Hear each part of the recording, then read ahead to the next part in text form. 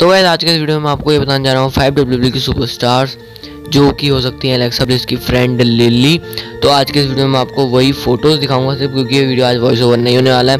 इसमें सिर्फ़ आपको फ़ोटोज़ देखने को मिलेगी और वॉइस ओवर विद रीज़न जल्दी आएगा। सो so फैमिली आपका स्वागत है मेरे चैनल पे और मेरा नाम है दीपांकर कांडपाल और आप लोग देख रहे हैं मेरा चैनल वाइन्स कर डायरेक्ट चलते हैं वीडियो की तरफ़।